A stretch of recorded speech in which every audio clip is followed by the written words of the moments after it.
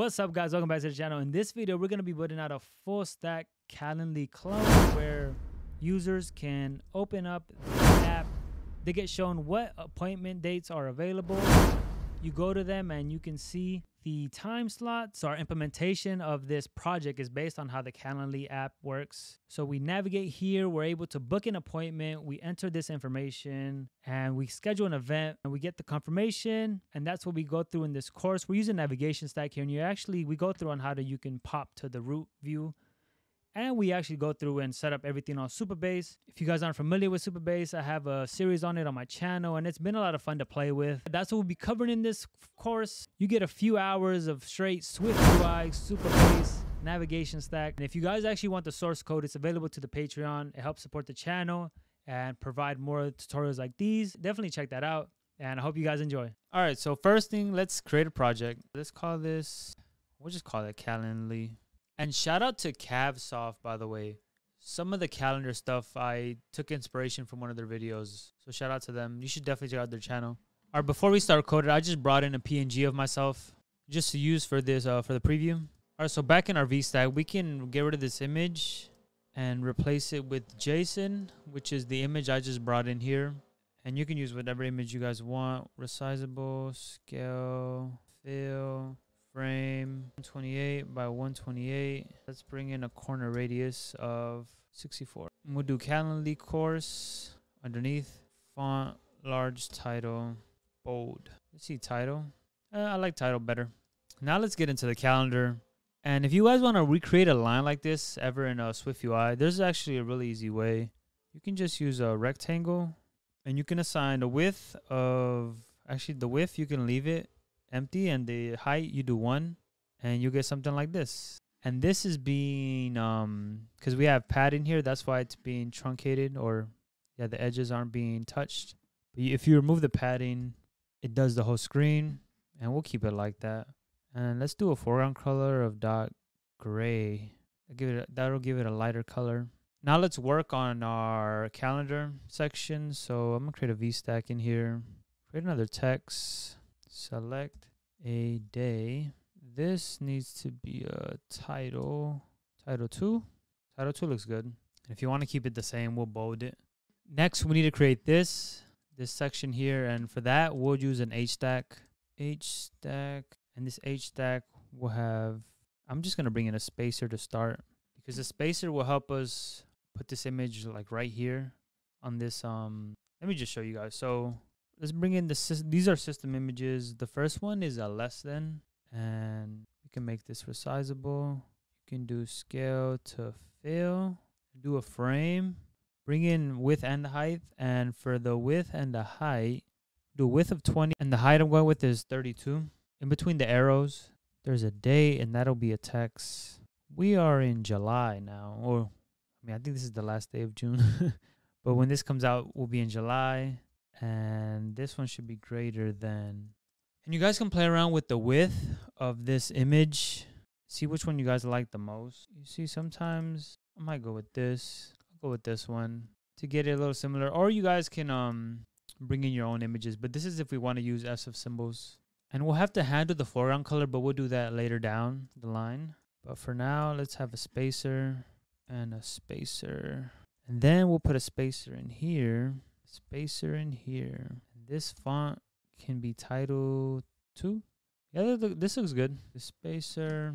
And one thing to note, we should move this in a button since these will be buttons. Action back. We can print for. Now that there's buttons, these need a foreground color. And for now, as you guys see with Calendly, they have like this gray arrow when there isn't a date. So let's let's just do dot gray. Dot gray. Now we got this part set up. Now we have to set up the dates of the week. And to do that, we'll need to create an array up top that has all the days of the week. And I'm, going to copy and paste the array here since I already have it on the side. And one thing I want to note is, at least for me, I like my calendars to start on Monday, but Calendly starts there on Sundays, and a lot of calendars start on Sunday. But for me, I like to start on Monday. So if you want, you could shift this to Monday.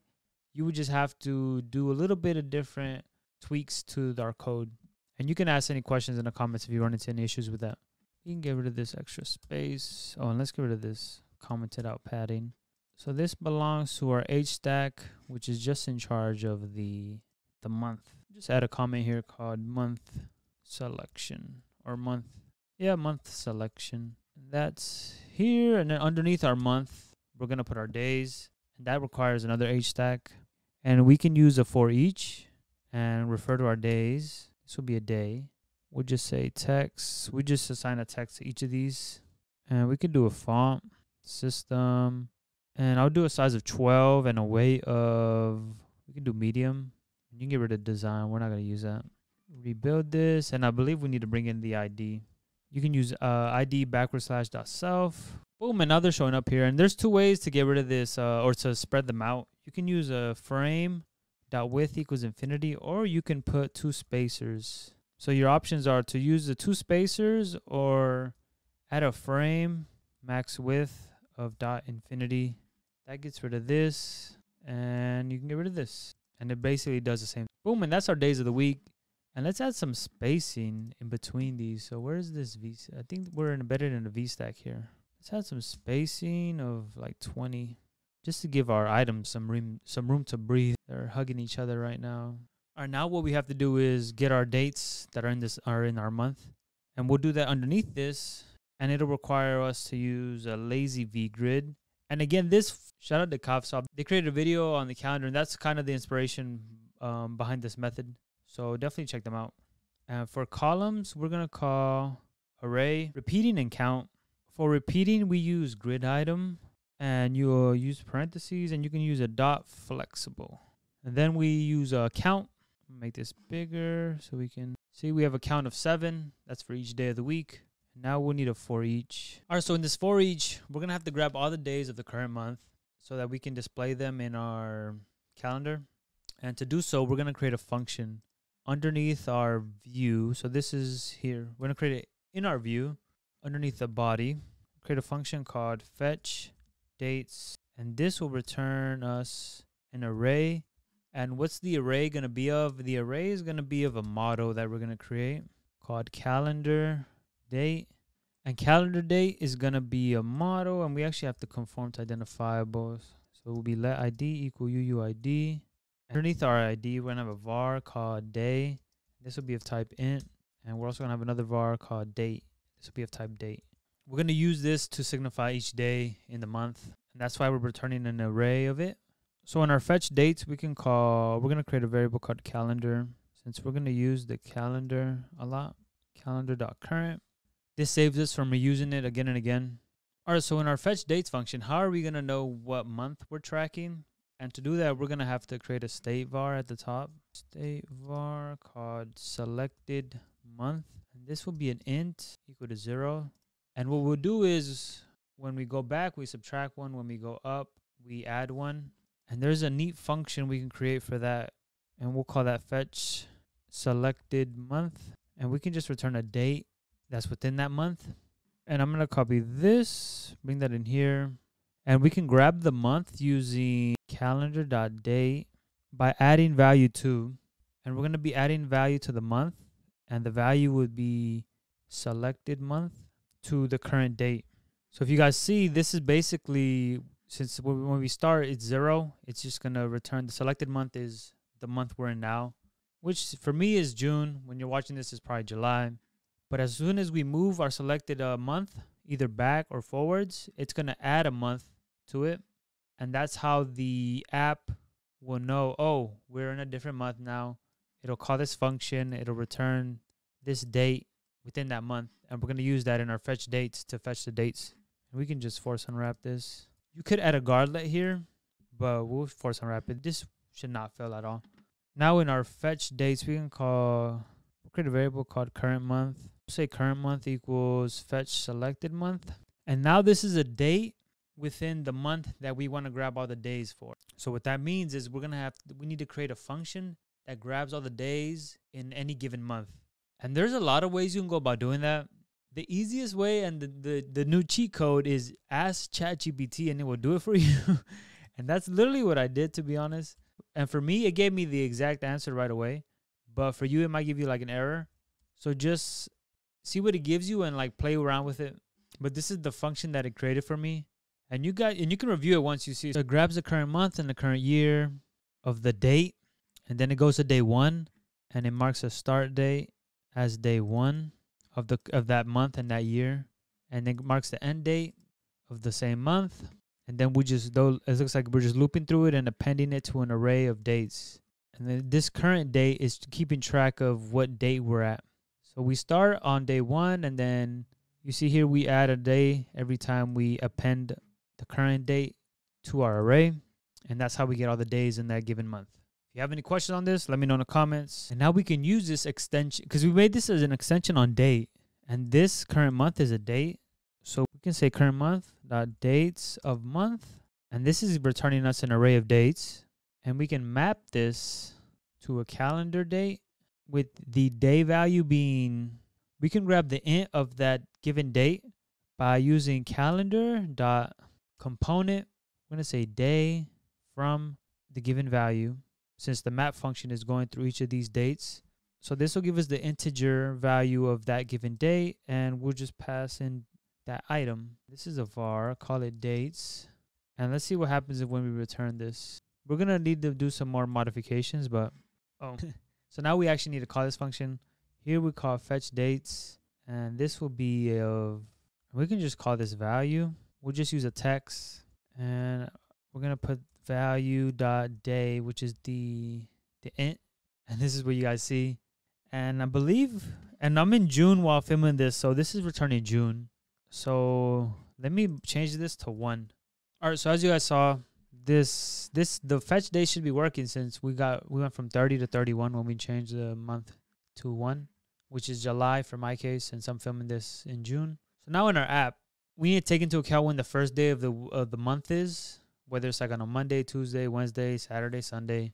And to do that, we can add values to this array that are going to serve as just placeholders and won't really do anything. And to figure out how many we need to add, we can grab the first day of week using calendar.component, be uppercase, we call dot week date. And for the date, we're going to use the first day of this array. And I'm going to change this to dates to make our lives easier dates dot first dot date and this can be nil so we're gonna use some nil coalescing command b. So this first day of the week variable is giving us an integer at whatever day of the week the month starts at. So if it's on a sunday it'll be one. If it's on a monday two. Saturday six or etc etc and we can loop through these. We'll go from zero to the to the amount or the number that's the first day of the week, minus one. And what we want to do is we want to insert, we call this one, and we want to insert a calendar date. This will be minus one. This date doesn't matter. Just make sure you have a minus one because we're going to use that to check if it's um, a placeholder or not. And the integer is zero or at zero. And now you see this, and July does start on a Saturday. So this looks good. And all we need to do in here is cut this out and say if value dot day does not equal negative one. And now we need to create an else. So if it does equal negative one, just, just do empty an empty text. And we can embed this in a Z stack and we can add a frame to it. Do 32 by 32. That gives us a lot nicer spacing. And and actually we can add a spacing to our lazy V grid of 20. That gives us some more spacing on the vertical on the vertical side of things. But this stuff is looking good. And I think we can we can add some padding here. Haha. Now let's look at how it's looking versus Calendly.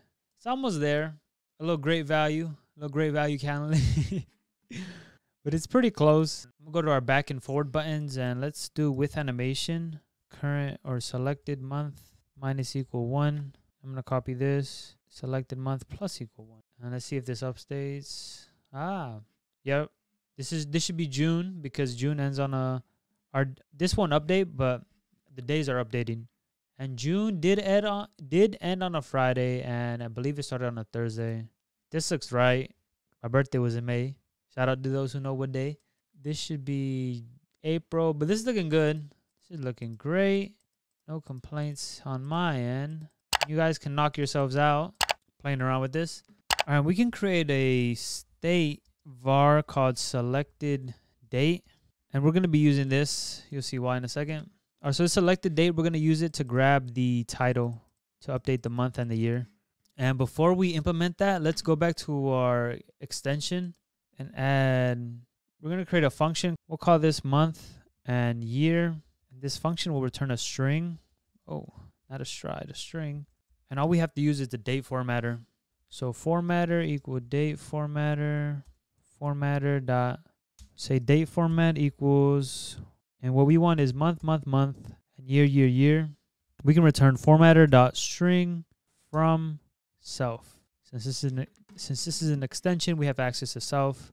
And this text here, we can change it to select or we can change the selected date dot to dot month and year. And you can name the extension whatever you would like. And you see, for me, it's showing June because that's when I'm filming this. If I change this to zero, it'll be correct.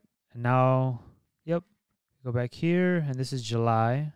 And you see, this is this isn't updating since we're not updating the date. And we can call the function here on change of selected month. So we can call on change of selected month when this index changes. We're not going to use this value, but we can say selected date equals fetch selected month so we're in June, July, August. Let's try to go to 2024. Oh my God, we're already here. and boom, that's our calendar. It's coming out really nice. Now let's add some few, a few more UI stuff. So we'll have to add a circle on days where there's appointments and also change the text color.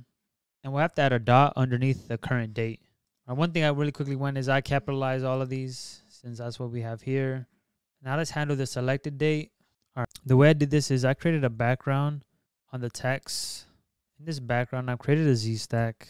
And if so, a value dot date equals equals date, we want to do something. And you guys, some of you guys might notice something because this won't equal equal this unless the time is the same. The time might give us an issue.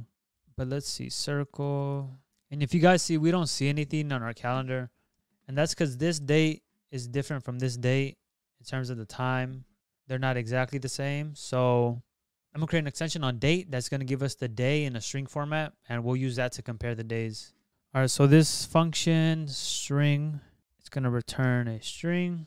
And what do we need to do in this function? We need formatter dot for date formatter. Formatter dot date format equals we're gonna use month, day, year, and we can return formatter dot string from self. And we can put that here. We'll use that. And now we should see a circle. Haha. And this circle, it doesn't look good, right? And the first thing, let's change the frame. Let's bring in this one. 8 by 8. Get rid of the alignment. And what we'll have to do in our VStack, we'll have to go to alignment dot bottom. And if you guys see, we still have the, the circle here at the bottom, the little dot. And if we go, see, that's only on the 30th, which is when I'm filming this. I'm going to address the circle thing in a minute, but on top of the Z stack, we need to create uh, something else in the background, which is if there are meetings for that day, like that you can book, you need a little circle. So let's do that. So I'm going to use a circle frame, use 48 by 48. And you see this, and we can use a foreground color of dot blue with an opacity of 3 or 0.03.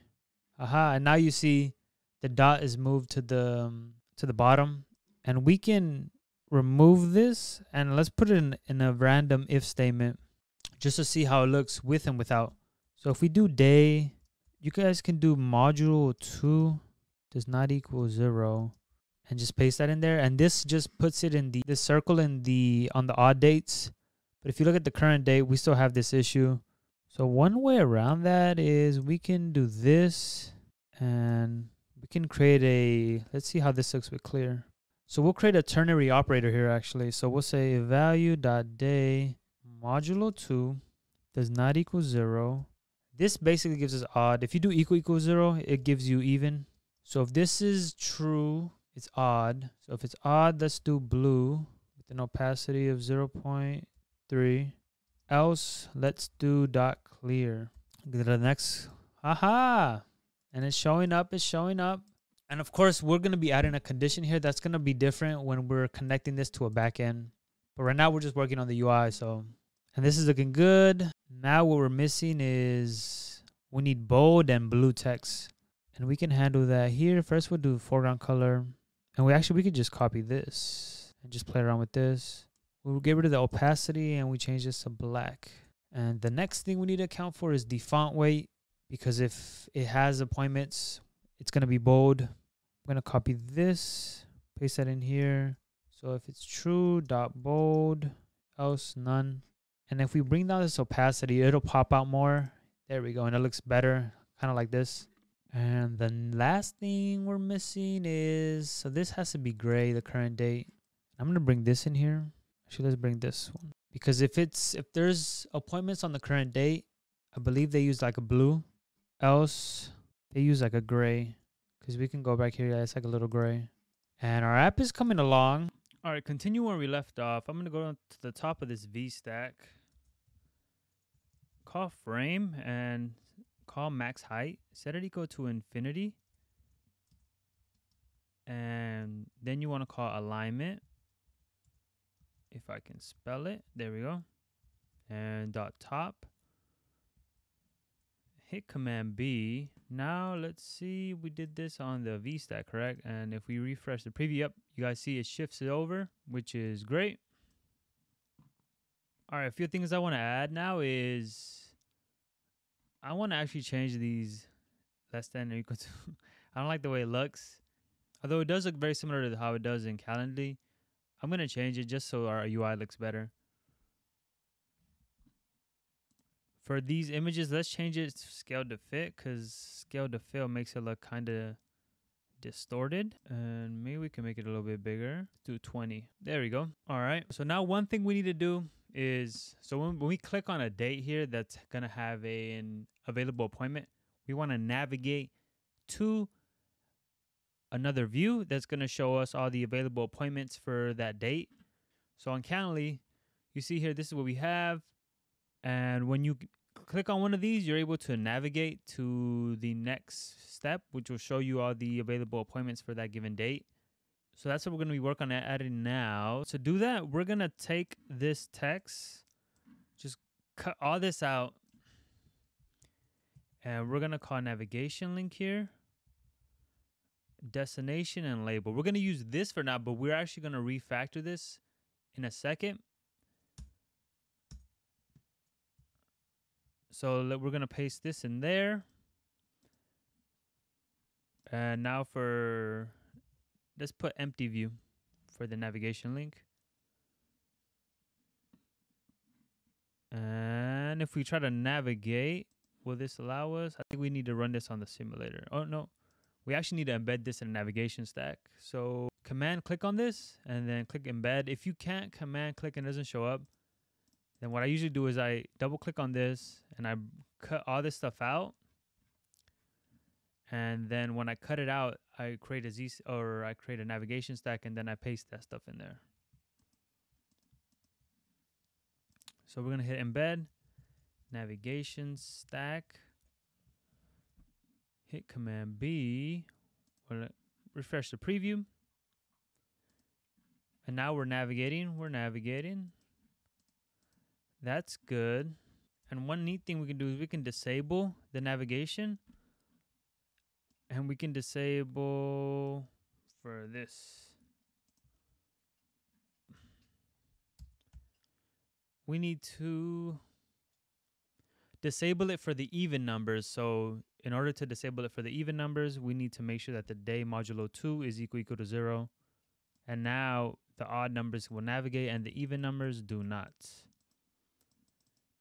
All right, one thing I want to know is we're going to be using Supabase to handle our backend, and that's going to let us know what appointment dates are available, and we're going to use that information to to actually make these blue or not blue. Basically, if there's a let, to let the user know if there's appointments available for that date or not. We're not doing that yet. First, I want to create these views, and then we're going to actually bring in that data and bring in Supabase. So let's work on the view first. I want to work on this view what happens when we navigate to a date. And if you remember in Calendly, when we navigate to a date, it brings you to something like this. So I'm going to minimize this, create a new file, Swift UI view. And what, what should we call this file? Let's call it, oh, I went with day view.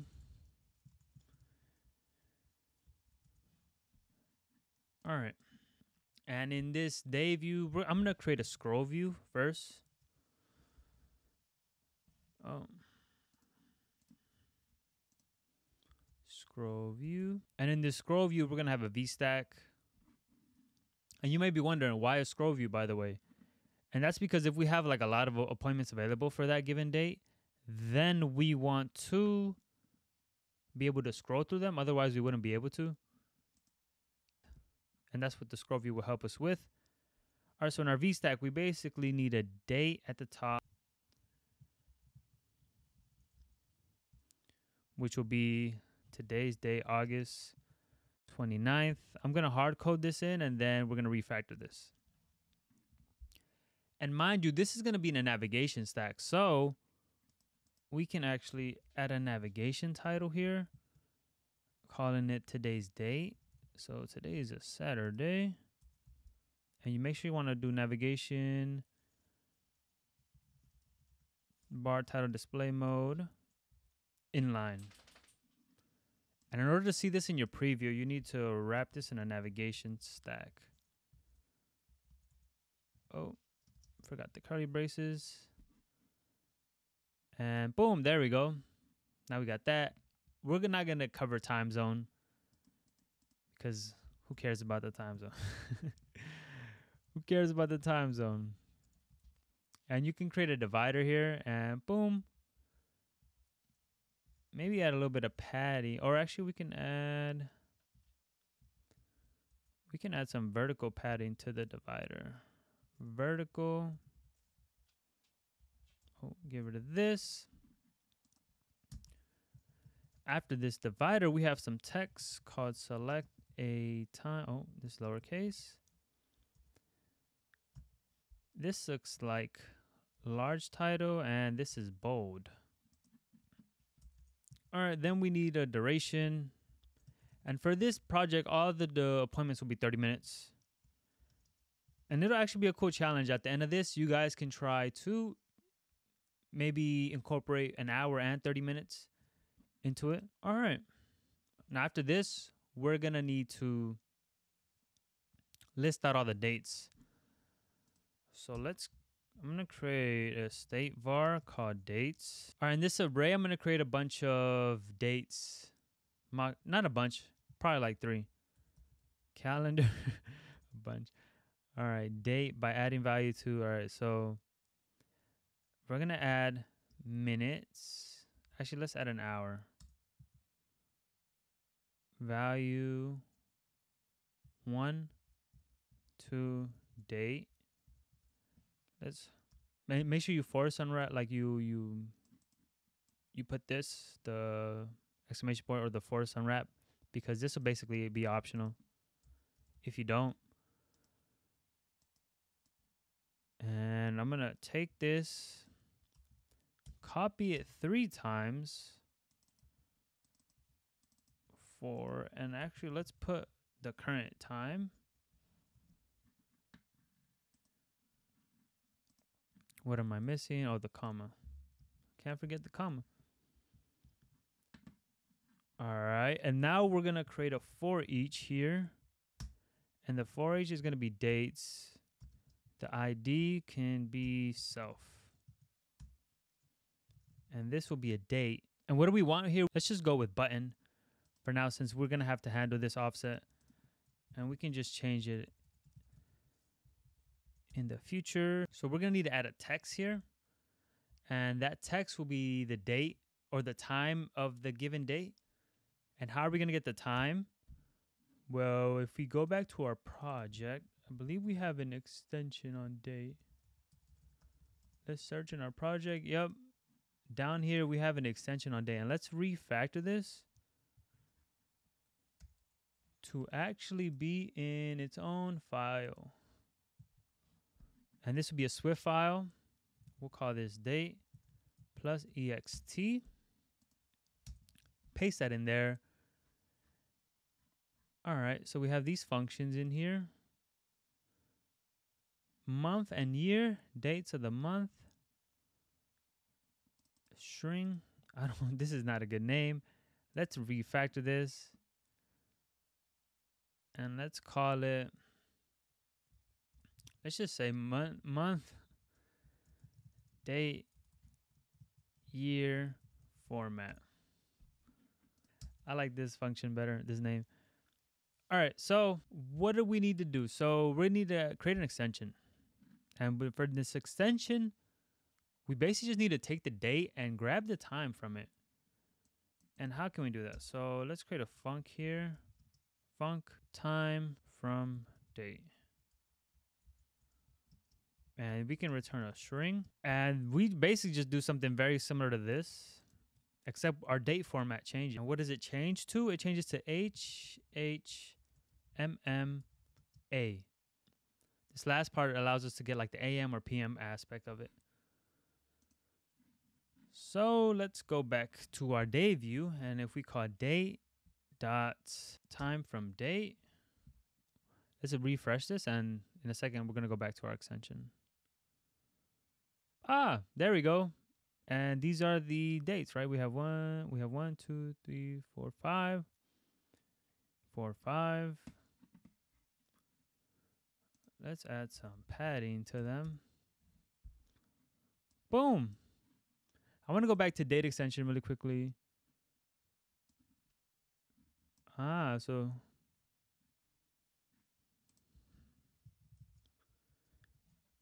I was just reviewing this month and year format. Let's do month year format.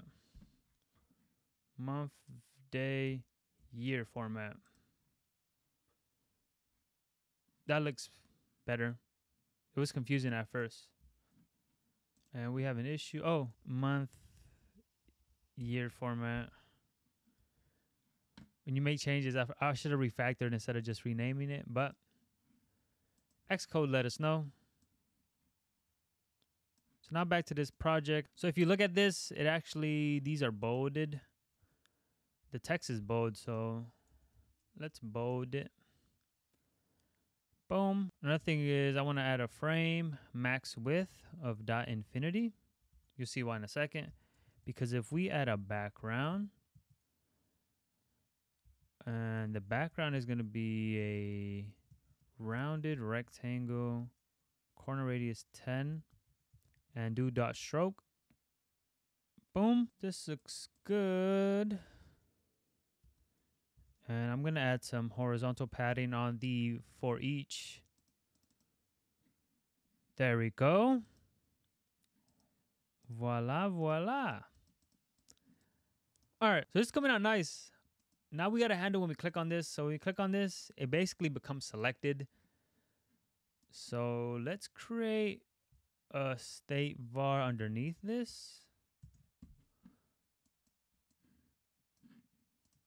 And let's call that state var selected date. And we actually want this to be optional.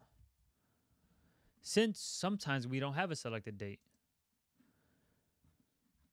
But when somebody clicks on a date, it actually is selected. So so we let's do with animation because that gives you some nice shout out to SwiftUI and Apple. That gives you a really nice animation if you ever you're using a button to change the state of your view, then you should use with animation, to be honest. All right. And now let's see. Nothing happens again because we haven't set up any logic that actually changes stuff for the selected date. And we're to handle that here in the background. So we're to cut out this rounded rectangle. We're to create a Z-stack. And I hate when Z-stack does that, so I'm just to do that and then do this. Actually, don't paste that there because we actually need to create an if statement. So if selected date equals equals date, we want something else. If it's not equal to date, then we want the rounded rectangle because that means that it's not selected or there isn't any date selected. But if the date is selected, what do we want? First, let's create a rounded rectangle. Let's do a 10 again.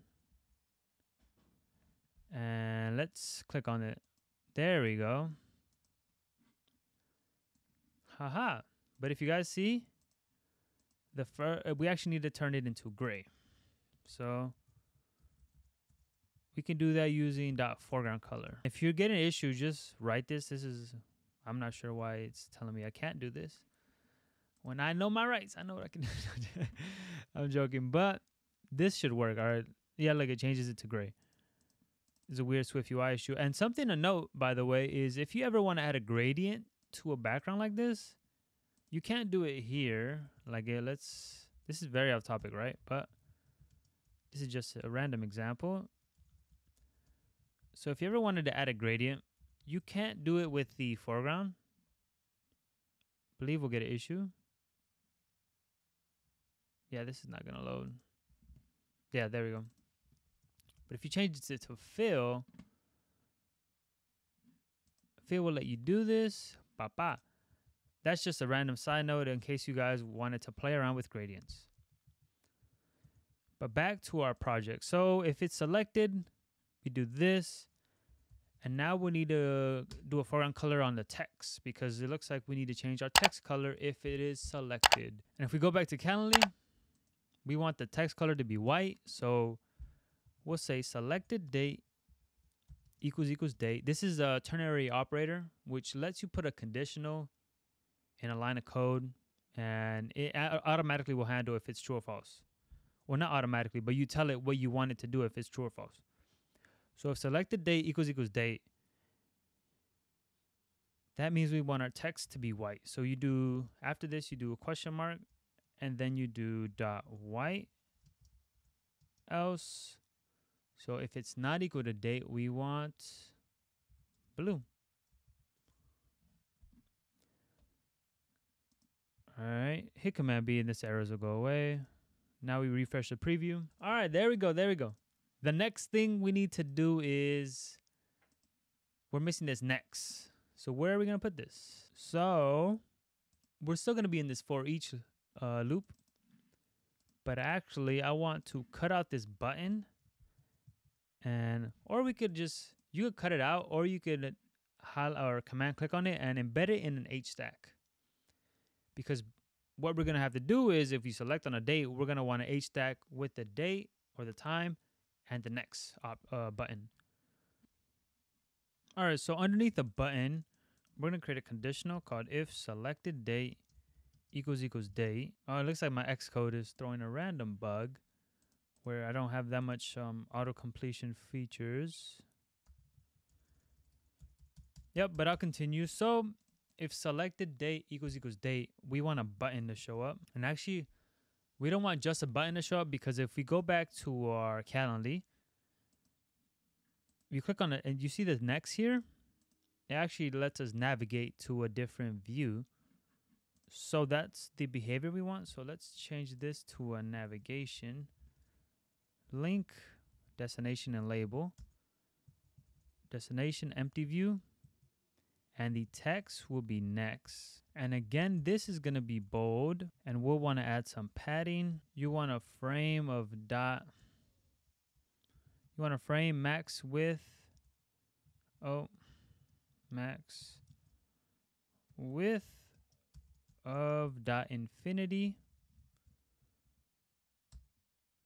And we want a background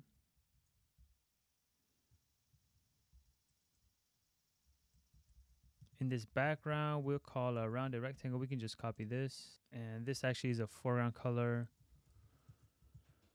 of dot blue. And we can actually just test this out now. So boom. There we go. And we need to add a foreground color to our text of dot white. Boom. Look at that. That is nice. And Xcode handles the animation for us. Love it. You gotta love it. You gotta love it. And if we hit next, we navigate. Hey, fire.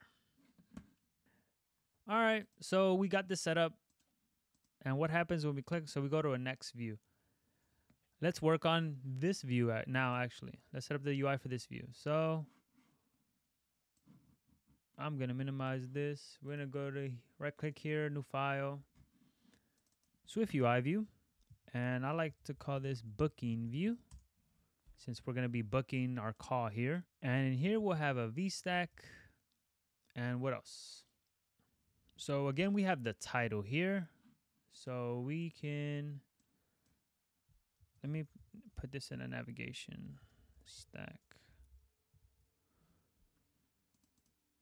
And let's put a navigation title of Callan Calendly course. Did I spell Calendly right? Yep. you gotta be you gotta be sure. Actually, wait, did I? What do we want in our view? So the first thing we want. So I'm gonna create another VStack for just for these images because this, if you look at it, this is basically just a VStack of H stacks.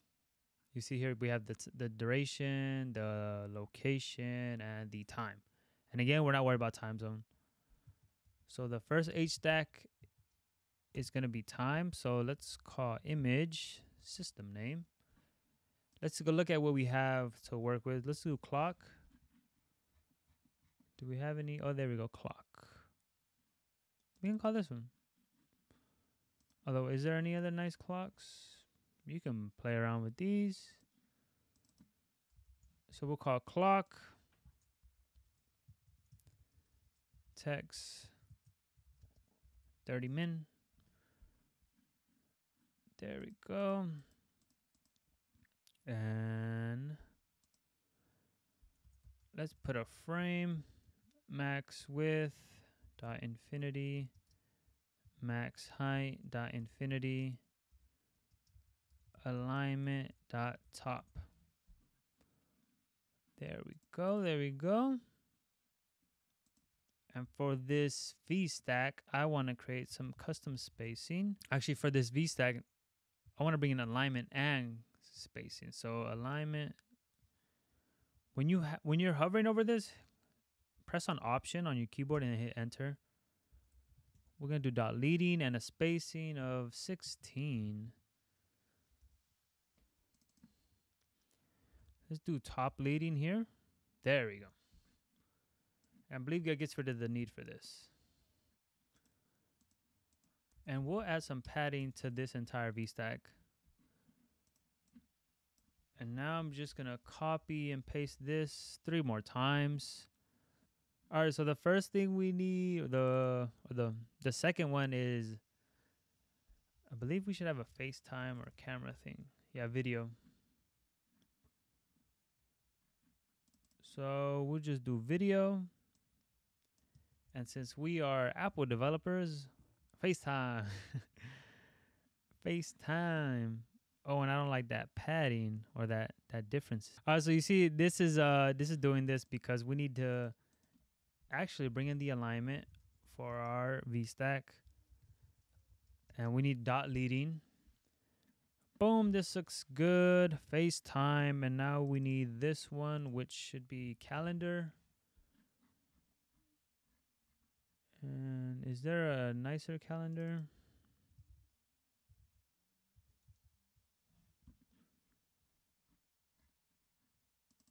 I guess we'll go with that calendar. And this has a time, a start date. this has a lot. so let's just write down. Let's actually wait. We can copy this. We don't have to break our backs. There we go. Perfect. If we want, we could add a little bit more spacing. And then underneath all this stuff, we want a divider and then we want a text, enter details, font large title, and this is bold. Actually, this is title, not large title, sorry. And we want to add an alignment on this as well, actually, dot leading. Boom. And let's embed this in a VStack as well since this stuff is fairly similar and in on this VStack we can add padding. So I'm going to do text name. Oh. Text of name. I'm gonna do I'm gonna just do the text for now and then email and then another text. Please share this. So paste that in there. And now we need to create our text fields. Text field. For this one, title, key, and text. The title key is they don't have a they don't have a placeholder, so you could just leave this empty. And it looks like we'll need to create some state vars. So at state var, and we should be yeah we should call these private private name equals this at state var or private var email equals this at state private var. I'm gonna call this last one notes. This one is name. We can just copy this, paste it here. This is email. This is notes.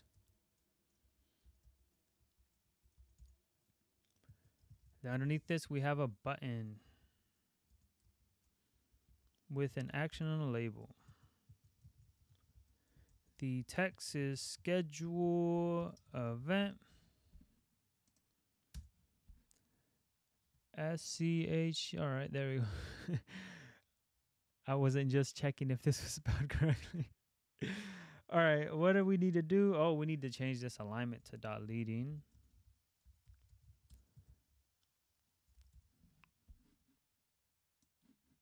And I'm going to close this. Let's add some spacing of like 6, let's do 12. Give us a little bit of breathing room. Can we do 16? just a little bit more. There we go. All right, so for this, I'm gonna do dot. We add some padding. And then we add a background. And in this background, we add a rounded rectangle, radius 10. And you just want to stroke it. you just want to call stroke. And boom, that looks nice. That looks nice. So we're going to copy this and just call that for the other ones. And for this notes text field, actually, I want to see if I can, I want to add one more thing called axis dot vertical. What this is going to allow us to do is, you see for this email, you see me typing like crazy. So for this text field, everything's one line, right? But for notes, maybe somebody has a lot they want to add, we're going to do multi-line. And that's what that axis lets us do. Because typically for name and email, you don't have a very long name or email. I mean, if you do, that's fine, that's fine. But just generally speaking, you don't. So we don't want that behavior for these except for this one. On the button text, we need to do a few things. Actually, we can kind of copy what we did here because this is a similar pattern for adding this background. The one thing we need to do is we need to change the max width to dot infinity. Boom, it blows it up. One thing I want to add to is a spacer to shift this all the way to the bottom. Don't stroke the rounded rectangle. Instead, we call foreground color of dot blue which I think by default on a button it's gonna be blue. If I'm yeah, by default on the button is blue. But I don't want to rely on by default and we need a foreground color of dot white. And I believe it's bold, right? Yep. So let's bold it. And let's move this foreground color up here.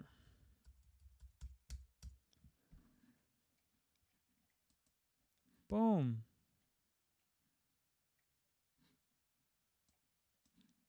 All right, this looks pretty good if you ask me. Is there anything else we're missing? Let's look at the behavior that happens when I schedule an actual meeting. All right, so I filled this out. Now I'm going to schedule the event just to see what behavior we get. So we basically just get sent to a confirmation page. And that's the next view we're going to be working to. And we're not even sent there technically speaking, because it kind of just appears on top of it, right? But instead of just presenting a full screen cover, we're still going to navigate, but we're going to remove the navigation bar. And we're going to incorporate popping back to the root view or the home view.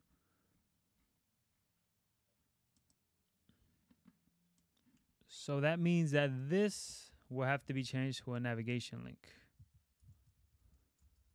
Navigation link. And again, we're going to refactor our implementation of navigation link. I'm just implementing like this for now. And now we navigate to an empty view. Cool. And the last thing we'll do is the last view we need to create is the confirmation view confirmation view. Make sure it's a Swift UI view. And this is a VStack. And I'm going to do something. So you guys see we have a VStack.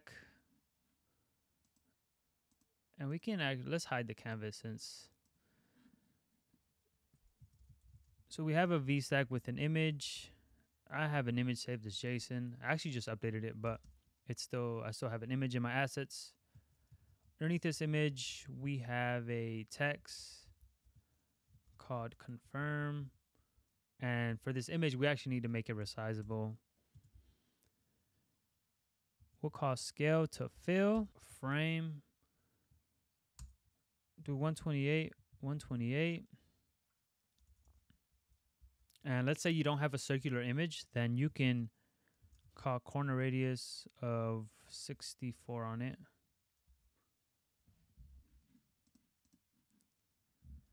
Command B, all right, the arrow goes away.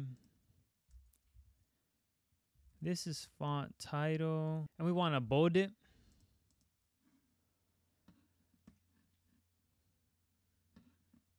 And we can also create some padding on it. Then we have a text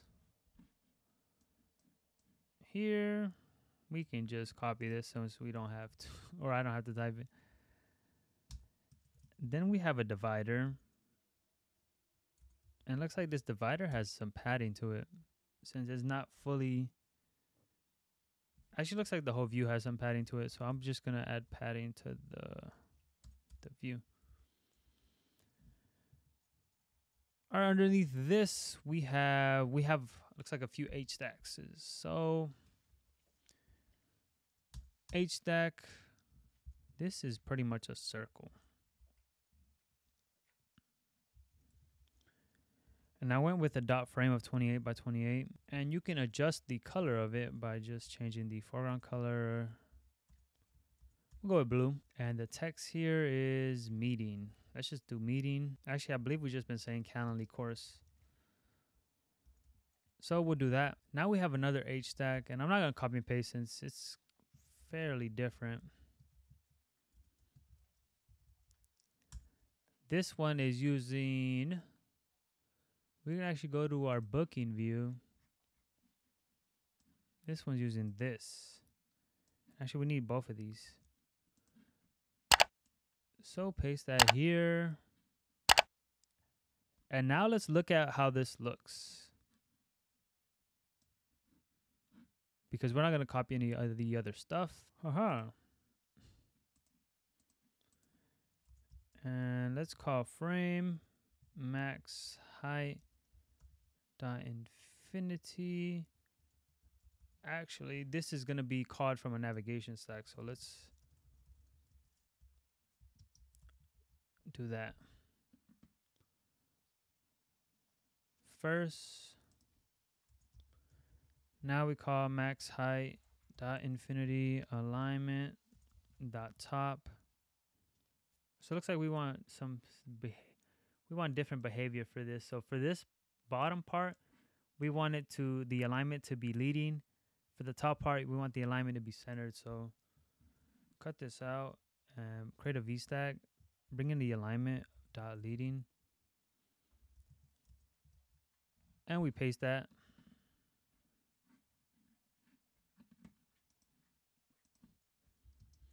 Let's create some spacing, 24. Let's do a lot more, 32. Uh, let's add some padding to this. There we go. I like it, I like it. The last thing we're missing is a button to go back to the home. So let's create a button no action, text, call it done. And what do we need to do? We need to do padding. We need a foreground color dot white frame max width dot infinity and we need a background the background rounded rectangle corner radius of 10 by default is blue, but you never want to rely on default. and I believe we want it bold. Boom. Fire. So we're about to try to run this. We're about to run this on our device, but we actually need to set up the navigation. So for the navigation, so in our content view, I'm to refactor this name to home. In our home view, what do we want? So in our home view, we are going to navigate to the day view. And from the day view, where do we want to navigate to? From the day view, we navigate to the booking view. And from the booking view, we navigate to the confirmation view. And again, this is not our concrete implementation. We're not even done yet. This is just setting up our UI so we can see how this looks. All right, so our app loads up. We're still it's still working because we're not able to navigate on days. We have no appointments quote unquote. We go to here. These all work. The next navigation works. And we haven't handled any form validation but if we hit schedule event we get confirmed so this is set the next thing i want to do well we don't you see here we on this we're supposed to pop to the root view but we're not there yet. The first thing I want to do is I want to go through and actually set up a little bit more UI because right now we just hard coded all this stuff. we actually need to do is we need to initialize some of these views with the given date. So that's what we're going to do now. So let's stop running this. Go to our day view. Here at the top, you just want to create a var, call it current date and this will be a type date. It doesn't have to be state because this won't be changing. All right. So we're gonna, so we should get some issues now. Yeah, we're missing this in our preview. We can just initialize it with date. And when we called it as well,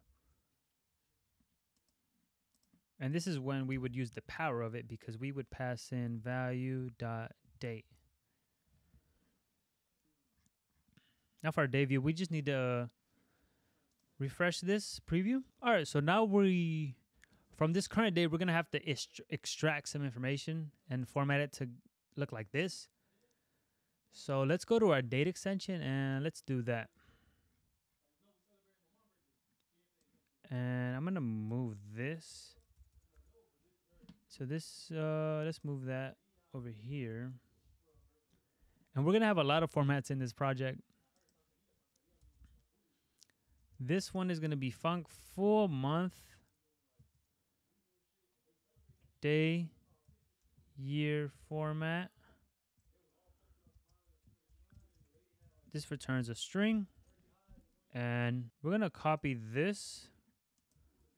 There's uh, some changes we need to do because we need to add the date here. All we need to do is add the day here.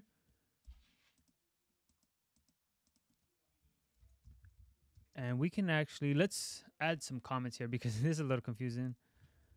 Returns 2023. This one will return the date as 0823 23. This one will return August 2023.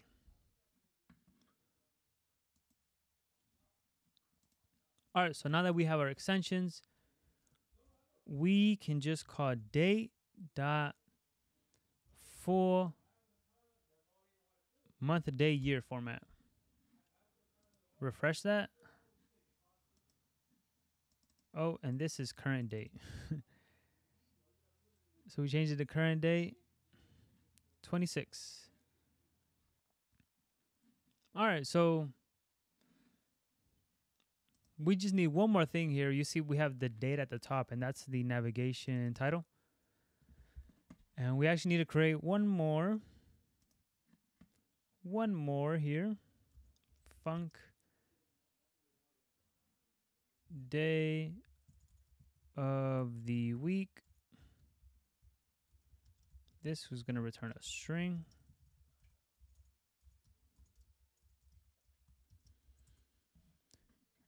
I'm going to copy this in here, paste that, and we just change the date format to EEEE. And that'll give us the day of the week. Again, for for data extensions, you don't have to be a master and remember all this. This is just something you need to use every now and then. ChatGPT is a great resource. Google, of course. And I believe there's a website. I forgot the name of it, but there's a website as well. The 23rd was a Wednesday, so this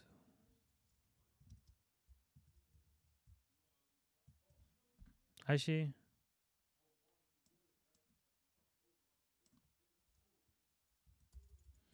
I don't know why I put EX here. So I'm going to remove this EX.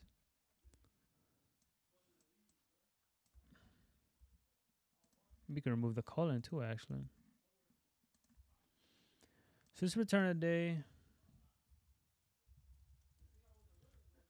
as Monday, Tuesday,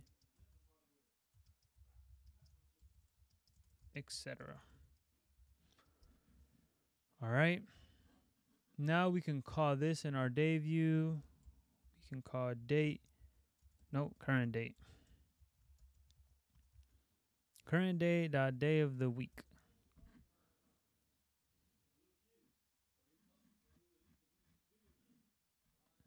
Now we're using today's date, so that's why it comes out as Saturday, because today is the 26th and it is Saturday. If you want to test it on a different day, you can just copy one of these actually.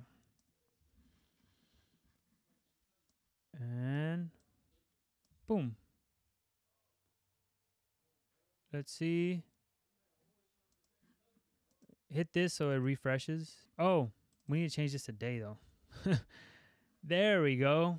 Now this is on a Tuesday in the future. Probably in the past by the time you're watching this. All right, so we set it up for this one.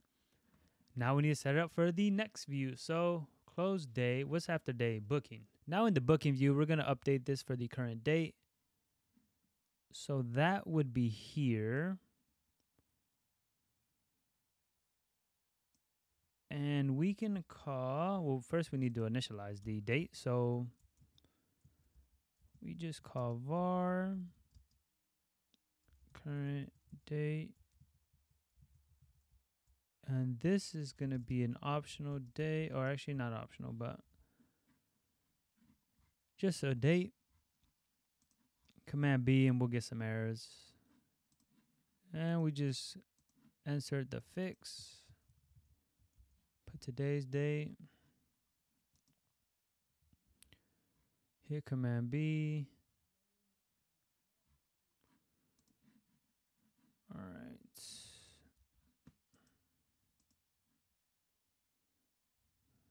This is basically just going to be current date. And we want to set it equal to selected date. Actually, we can just set it equal to date. Refresh this. All right, and now we have access to the current date. So let's do some string interpolation. Current date dot full month day year.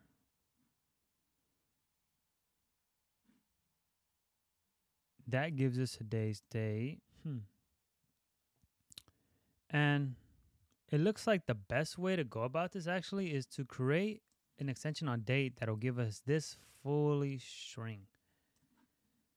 So let's let's do something. So i'm gonna close the canvas we're going to open extension here. And let's say func. let's just call this booking view date format since this is a very specific formatting that we're going to need for this string or for this date. So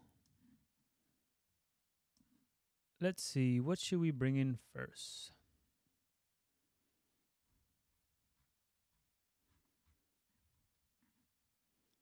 So we're going to say let's start equal this. So now we have the start and to get the end date. So let's see end time. Let end time equal formatter. Wait, actually no. It's going to equal calendar dot current dot date by adding value two. So we're going to add minutes, 30 minutes to self. Force unwrap this. Now we have the start and the end time.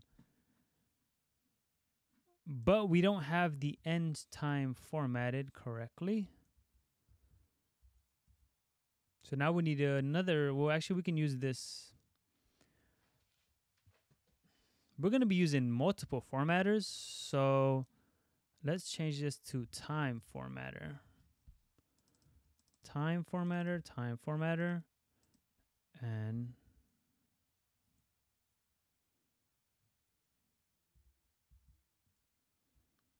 let's change this to end date. Let end equal time formatter dot string from start. Actually, we change this to string from m date. Now we have the end date or the end time, sorry. So we have this and we have this. Now we need the date. We can just call let day equal self dot day of week. Okay.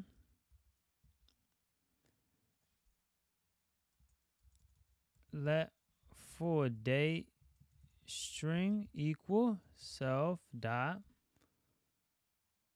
full month day year format. Call that.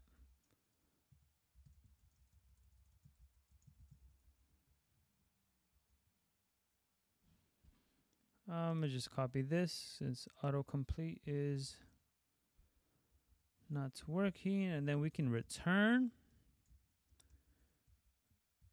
We can return a string. Let's use string interpolation. So we're gonna have the start and then we're gonna have the end. Then we have a comma then we have the day. Then we have another comma. And then we have just the full date string. Hit Command B. And I'm going to cut this underneath.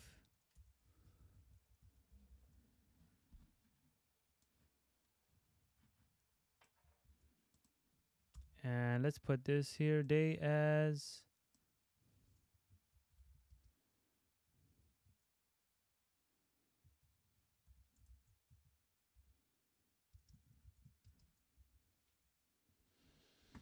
All right. So now let's close this and let's go to our booking view.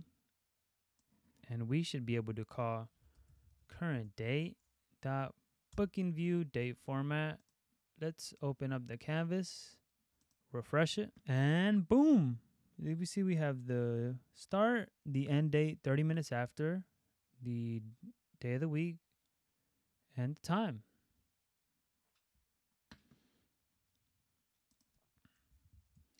We can align this to the top. I believe this will make it look nicer. Yep, you can line it to the top. Looks better. All right, so the next thing we navigate to is a confirmation view. So let's look at that. So for here, we also need a current date. var current date is of type date. And now we're missing this down here. Just pass in the date. Command B. We're missing it in here.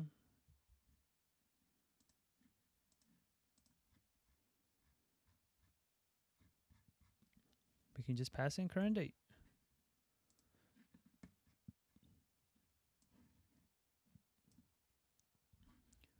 And refresh this you see it has Tuesday, but if we do current date dot booking view date, we get this alignment dot top.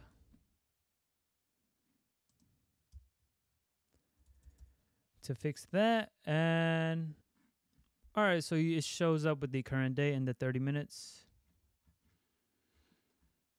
All right.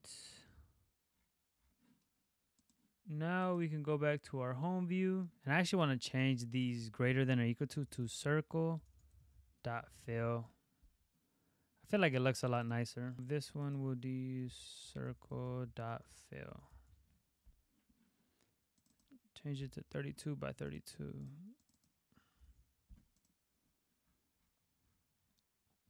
All right. And let's run this on the device.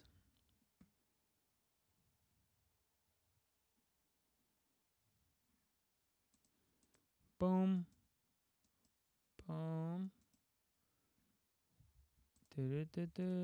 And we can hit schedule event. And this pops up. All right, so let's bring in Supabase. Let's do that. So if you guys are not familiar with Supabase, Supabase is a Firebase alternative. They allow us, they pretty much give us like free database, user authentication, and what else? Storage, similar to Firebase if you guys have ever worked with it. It's an open source alternative, so you don't have to worry about Google keeping your stuff, right? And I like using it for some of my projects. I know so, some of the some it doesn't have as much features as Firebase, but it still works really well in some use cases.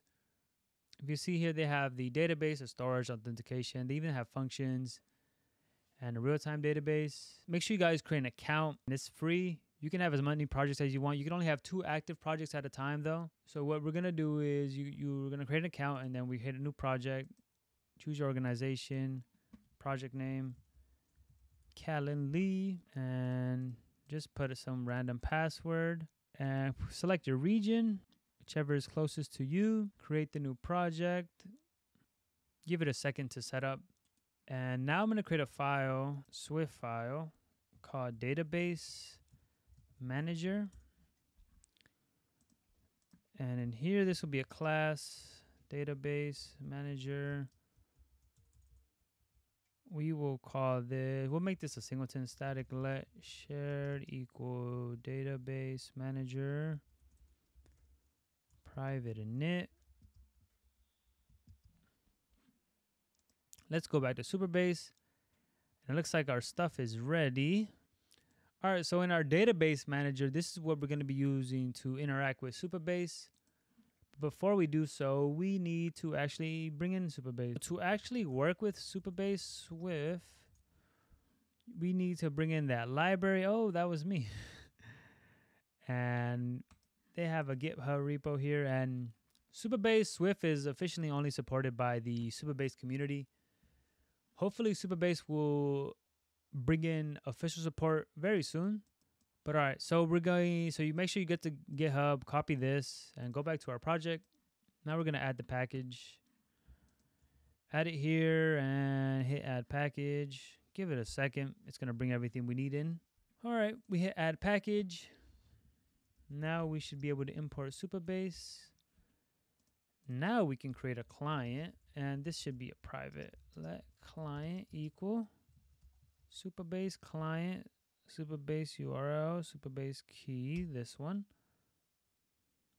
The URL will be URL from string. And what string do we need? So we need to go to our Supabase, go to your project settings, go to API. This is what we need. So right here, make sure you just copy that. Paste that string in here and you want to force unwrap it because the URL will be optional. And then for the key, we take this one and we paste it in here. All right, so now we have Supabase integrated into our project. Now let's go to the table editor. Well, let's go to a database. We need to create some tables. So if you guys are unfamiliar with Supabase, it's a Postgres database, which is like a relational database. And and it's a little bit different from Firebase. Like if you're coming from Firebase, Firebase is a collection or document database. And Supabase is all about tables. You can think about it like that. It's all about tables and relationships between tables and items or rows in those tables. And for our use case, I'm to create two tables, but you would generally want, I would say you'd probably want three, but we're just going to do two. And why three? And I'm saying generally three for our use case. Because, let me just create the first one. So the first one is going to be hours. And the way I set up the database is one table is going to tell us the available hours during the week. So this table here, and we're going to disable row level security, by the way, so anybody can read this. But this table, I'm going to create a day, and this is going to be an int, and it shouldn't matter which int you go with. And for the int, that's going to be the index of the day of the week. The ints will range from 0 to 6, and those will be the days of the week. I'm going with zero as Monday and Sunday as six or six as Sunday. You guys can change that, but keep in mind that it's going to change how you implement it in our Xcode project. And then what I did was I created a start and an end int and what these are doing is it's going to tell us a start and end time of when we want people to be able to book appointments. So it's basically like your hours of operation. Like you're open from 1 from 8 a.m. to 5 p.m., right? And we go with int and this is goes from 0 to 23, which signifies the 24 hours in a day. And we save that. Next is a table of appointments. For appointments, we want to get rid of row level security. We want to add some columns. So we want the person's name, which is going to be a text. So look for text. It should be right there. We want an email. It should be right here. And we want a date, which will be the date of the appointment and we want time time stamp z, which is includes the time zone because that'll be important. All right. So with the name, the email, and the date, we have this. Now this will be that's all we need to set an appointment. So we're gonna hit save. And now I'm gonna go here to the table editor. So here in the table editor for hours, I'm now going to enter in all the hours of operation for each day. And it makes a lot more sense to do it here since this is just a one-time thing. And every time we load up our app, we're going to fetch from here. So it just makes a lot more sense to just add it from here and the ID. This, you can leave it blank. Um, Supabase will handle it for us. Day zero, which is Monday. Let's say we start at 8 and end at 4. I had to do math for the 24 hour clock because we don't use military time in the US. That's what we call it. All right, so the index now, so for Monday or for Tuesday, let's say we start at 9 and I'm just to fill these up. You guys can enter in whichever times you want.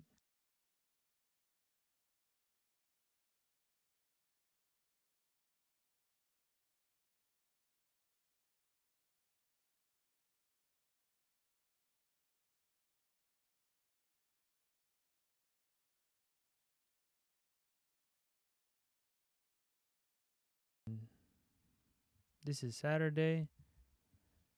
I I go with zero zero if it's closed or we don't do anything. That's the logic I implemented.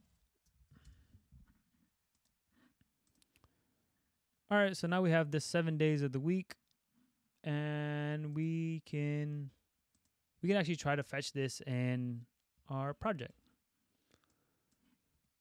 So let's call the func fetch hours. We call it async throws. And in here, we can call client database from the table is hours. We just want to call select and execute. And if we got if we go back, we see that execute returns us a response. So let response equal try await. Command B. And we can grab the data from the response as response dot underline response dot data. And we can print the data. But we actually want to print it and string this one. UTF-8. This is a little cheat code I use sometimes. You can easily just print it in your terminal. And we're not going to see this actually because we're not calling it. Let's do it here on our home. So underneath here, let's create a task. And this task will be database manager share dot fetch hours. And oh, we need to call try await. And we should probably wrap this in a do catch because if we get an error, we can actually see what it is if we print it. And we just write try await. Run this. Boom.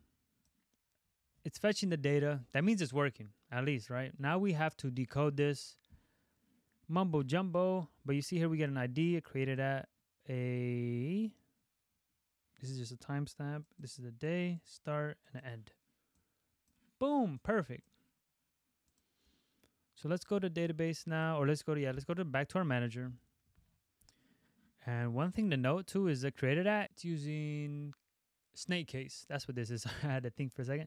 This is using snake case, so we're gonna have to let our because we have we're gonna have a decoder, right? Because when you decode your JSON, you use JSON decoder. But we need the decoding strategy to be convert from snake case. Now we can create a struct for hours. And this will have to be decodable and only decodable because we only are going to read this. We're never going to send off hours. If you are going to implement that, then you would change this to codable. So what do we need? We need to create it at. This is a string. We also need a date a day, which is an int, a start, which is an int, and an n, which is an int. All right, and now we can try decoder, decode. This is an array of hours. Dot self. So we actually want to decode an array of the hours. Because if you see here, this is in an array from the data, and this would actually be hours. So now let's print hours and run it.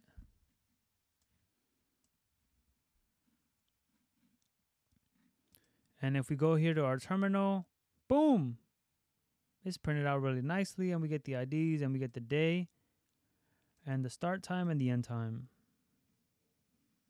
Perfect. And we can just have this return an array of hours.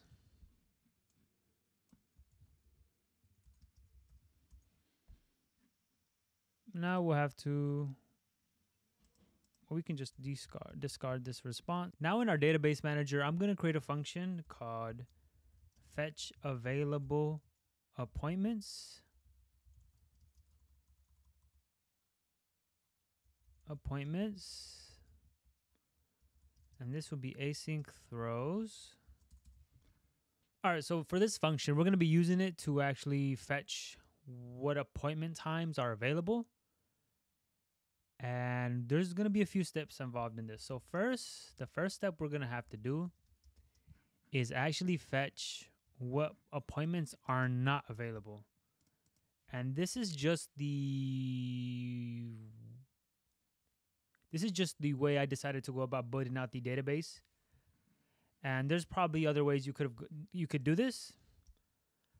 But I found this to be the most straightforward and uh, easiest to implement.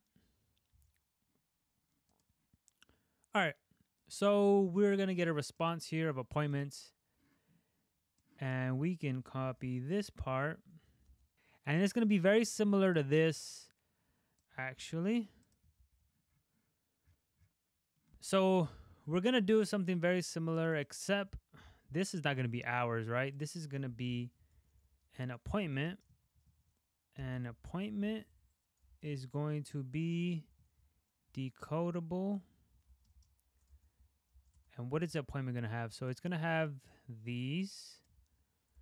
What else will it have? It's going to have a name, which will be a string. It's going to have a email, which is a string, and it's going to have a appointment.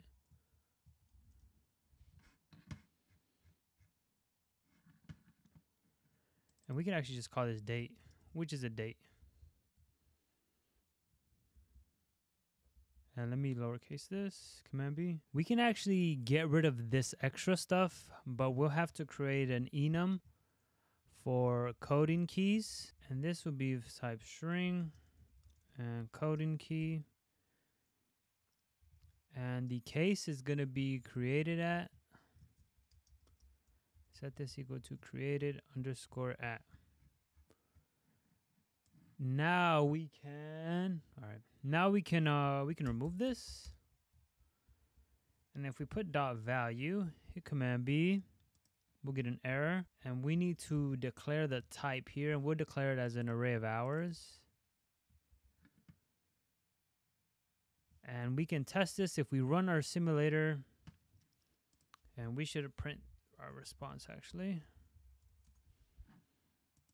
So let's run this and we'll have to make this codable since we're using the coding keys. And the last thing we missed is we need to add start and hit command B. This will let it know that these are just regular or these are just the default ones. And for the created at, we'll have to decode it like this. So let's open up the simulator. Oh, actually, no, wait, right here. Boom, and this cleans up our code quite a bit. And we can do the same here. And instead of this, we just change this to name. The downside of this is we have to make this codable, which is not a big downside. And it's actually, I would say it's worth it. All right, so we can get rid of this stuff again. And we call dot value, and this will be appointments. And we can remove this. Declare this as an array of type appointment. And we can return appointment. Oh, and we have to make this function return appointments. So base, we're not even going to return these actually. So let me remove this line because based on these appointments, these are going to be the time slots that are already booked. And we're going to have to create a function that's going to take that time slot or take these time slots and generate an array of available appointments or dates. This isn't even correct because we don't want to return an array of appointments. We want to just return an array of dates and this these dates or this array of date will time slots which are going to be of type date and those time slots will be the ones that we can choose from in our Calendly app. So what's the function we're going to have to do? We're going to have the function call it generate appointment times from an array of appointments. And we can call this appointments. And then based off of this, this is going to be async throws. You see why in a second. Based off this, we can return an array of date here. So what do we need to do in this function? So we actually need to call this one fetch hours because we need to know what hours of operation are available. So we're going to say let hours, we're going to call let hours equal try await fetch hours. Now we have the available hours that were open. And what I want to do is I want to take this array of appointments that we have here and I'm actually going to create a set. So take in appointments. This is going to be a set of type date. So we're going to create a set of type date. And why a set and not an array? Because for a set, it's going to remove duplicates and it's also going to allow us to easily search for items in it and insert items if we need to. So to do this, we're going to create a set and then we just call appointments dot map and we call it curly braces dollar sign zero dot date. And let me just return an empty array here. Return an empty array here. All right and you guys may have noticed or be thinking why we're going to be fetching an array of appointments. So this is technically not the best way you would want to do it because we would the user or the app would be fetching everyone's appointment and you really want to you really want to want to do that because in the appointment you have like names and uh, emails. So the correct or the best way if you're going to do this in production would probably be to have in a table that just has dates and those dates would be the taken dates. And you would fetch those. Based on those you would uh, generate the available appointment dates. But we're using it this way just so we don't have to create an extra table. All right now we're going to create a calendar reference here since we're going to use calendar dot current quite a bit. And we're going to create a variable called current weekday. And here we'll reference calendar component and the component will be day from date minus 2 all right, this is being created to take into account our indexes for the appointment or for the hours. You remember we here in this index we have Monday at 0, Tuesday at 1, etc., etc. So we're going to use this to take into to take that into account. All right, so now we're going to create a for loop. So for hour in hours and can we get autocomplete? There we go. So we're going to get this is going to loop through all the hours, which is basically each day of the week and the available hours we have for people to book appointments. And I added one conditional, which is if hour dot start is not equal to zero and hour dot end is not equal to zero because this was our case of closed basically. So if this is not the case, so if it's not closed or we don't have um So if we're open today, we're gonna want to create a variable, call it current date, and in here we'll call calendar. We need to call calendar.date from, and we need to create a date component, and we need to call this, and we need to bring in day. So we'll call calendar.component from, so the day from day plus hour dot day minus current weekday. And this will give us the date that we're actually looking for. And you'll see this in a second. So let me see. We need one more thing. We need to bring in the hour. So we need to bring an hour, and the hour is going to be hour dot start. And now we need another loop because we're going to have to generate these dates or an array of dates. So this current date here, so this is grabbing the date from today's date. It's going to, this manipulation here is going to shift it to whichever date is in the hour date. Because if you guys remember, hour is has a day here, a day index, which is an int and that lets us know whether we're on a Monday, Tuesday, Wednesday, or Sunday, right? So this shift here takes that into account and it'll create it for that given date. And now we need to actually create a while loop and we need to while at next date equals calendar.date by adding value to, we're to add minute to value of the value, actually the value is 30 and the time is current date. We also need to check that the calendar dot component from if the hour from this next date, we have to check that the hour is less than hour dot end. Because if it's greater than or equal to, we are at the end point and we want to stop this loop. But if we're not there and we're still in this loop, what do we want to do? We basically want to append this, append the, the date to an array.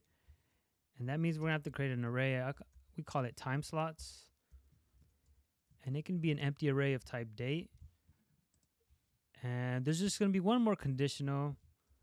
We have to check that taking appointments doesn't contain next date. And this will have to be a, you add an exclamation point to make sure it's a not, so it does not contain. Otherwise, it, it basically is going to check if it if it does contain. So while this, is this optional? Yep. So we need to force unwrap this and this should not fail. So in this contain, let's make sure we do current date because if we do next date, we already gonna, we're gonna skip one. We're gonna skip this basically. We're gonna skip the first hour of each day that has an available appointment.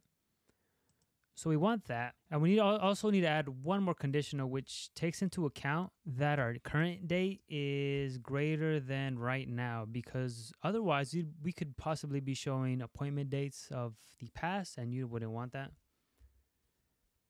So if the if these are true, then we want to call time slots append the current date. And then after this, we can set current date equals next date. Hit Command B, see if we have any issues. All right. And after all this happens, we can return this array of time slots. Ooh, that's a lot of code, right? That's a lot of code. Hit Command B. And now we would call try await generate appointment times from appointments. Command B. So to test this, we're going to call available appointments here. And let's print appointments. One thing before we run our we run this on our devices, we actually need to change this to weekday, I notice. Because if we go with day, identifier for the unit day, we actually want to get the day of the week. So do weekday. Now we run this and we get empty array. Huh. So here we're fetching available appointments. I see the issue. So so I was trying to run this and I noticed for our date, we actually need to signify the year and the month we want to use. So For the year, we call calendar component from component. So year from date. And this is all we'll have to do. And we'll have to do the same thing for month. So for month, we call calendar component month from date. Hit command B. This succeeds. Now if we go to our home view and we have this in here, all right, available appointments, and we can run this now. If you see here, our dates are lining up correctly, and we are on the 26th. So I was having an issue, right? Because let me just print this current day, and you'll see why we were having an issue. So we run our project, and we were actually fetching the dates. But you see here, we were fetching the 21st, 26th, and I'm filming this on the 26th, which is a Saturday. So this is fetching the appointments for this past week or current week, to be honest, but it's Saturday and there are no available appointments on Saturday and Sunday the way we set it up. So that's why there was nothing being returned. But to account for that, we can remove this or move this in a for loop for week offset in 0 dot dot 1 dot dot 1 and we just paste this in here. And then we need to add just one more thing. Call it days to we'll call this days offset equals week offset times 7 and we will call that right here. And now this is going to check for appointments this week and the next week. So if we run this, I'm printing it, right? Yep. If we run this, we should get an array of available dates for next week. Where's time slots? Oh, we need to move this into our for loop or outside of our for loop. So now we run this and boom, we get a big array of dates. Not that big, but decent size. And if you look through these, it's going to show us the available appointments for the following week. And you see they're in like 30 minute intervals, which is really good. And a neat thing is we can play around with this and we can set the calendar available for the next four weeks. Basically, four weeks ahead. So it would always be four weeks ahead on the app. This way keeps it always two weeks ahead. So if you're on like a Saturday or Sunday like I am now, it wouldn't just show empty. All right. So this is set. Now we got to figure out how we want to implement this in our project. So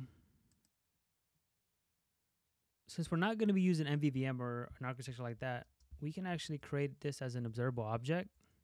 And we can kind of use like an MV pattern with this. So we would not, I'll keep it as a singleton for now, but we may not even need this. Actually, we won't need this.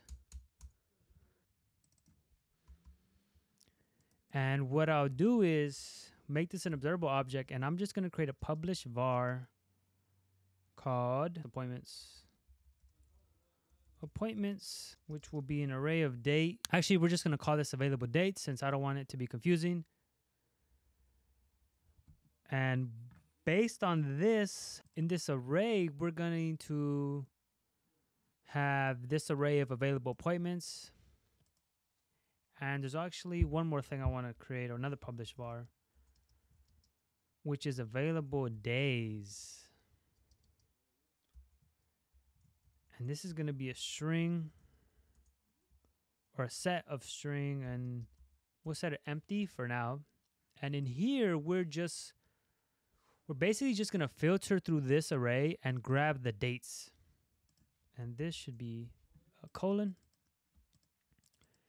And we're going to use this for in Calendly. You guys remember how we highlight which days are have appointments?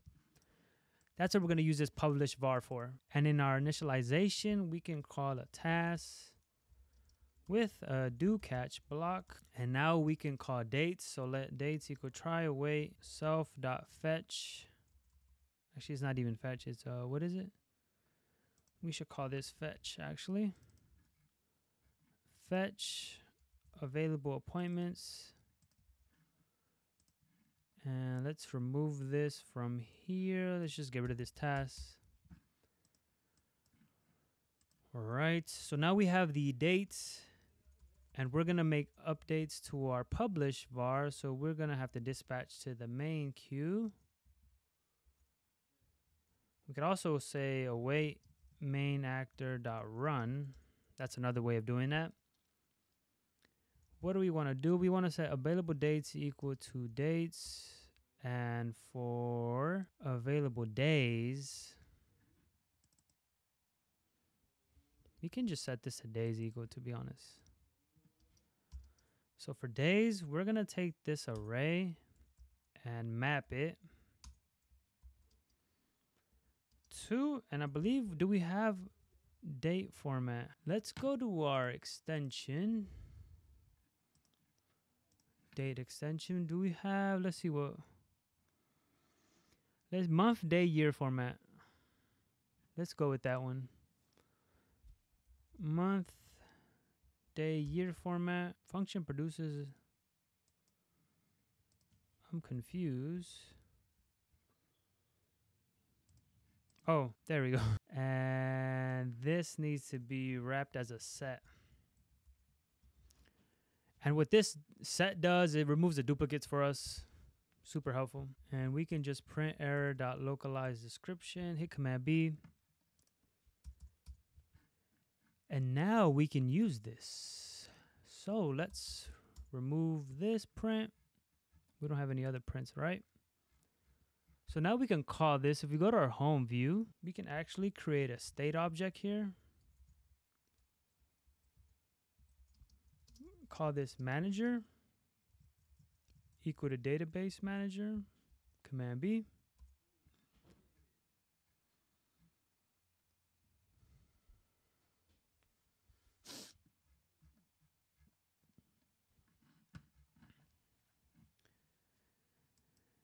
now we are going to have to make some changes in here, in this logic. Because right now, the, the conditional we had was we were just using odd and even numbers. So we're going to have to update our conditional. And let's see if we can just create it here. So let create this has appointments and this will be equal to manager dot available dates contains and it would have to contain value dot date and actually not even available dates. We just have to call days as day or month. This one right? Yep. I believe this is the one we went with month. We can check in our database. We went with month day year format month, day, year format. So has appointments, has appointments, has appointments, has appointments. Disable if does not have appointments. So we just use the, the uh, exclamation point. Now let's try to run this and see what happens. Oh, look at that. Look at that. We get these. And that's pretty dope because that means it's working. Lit. Now we got to set up our our what do you call it? Our navigation here. So we need to pass value dot date. So, and what we want to actually do is we want to go to our day view and we're going to have to pass in the manager here, the database manager as a observable or as an environment object. So we bring in our environment object and we're going to have to make some changes. So let me just remove all this mock data. And we're still going to have an array of dates. But onAppear of this view, we are going to do some filtering because we're going to change our dates. because our manager, like let's go, let's go right here. So in our manager, we have available dates, which basically just an array of a whole bunch of dates. But we're gonna want to filter, and we're gonna want to filter the current value dot, well, the current value is the date. So we want to make that equal to, and actually, we're gonna do month day year format, this one. We want that equal to current date dot uh, month date year format. And this formatting helps us take into account the different hours, right? Because if you just did the date comparison, it would be off because this date would just be the current time and the dates wouldn't exactly be aligned. But what this strings are doing is it makes the comparison very simple because it's just going to compare the date as a string. And we're going to set this equal to, what did we call it? Dates. Hit Command B. All right, and let's run the app and see if this works. All right, it's loading. Now let's go to Wednesday. And this doesn't work, and I realize why, because we need to add the environment object here. Sometimes I forget, and that's what happens when you forget the environment object. Your app just crashes. All right, let's go back to Wednesday, and oh, that looks really good. Let's see. Haha.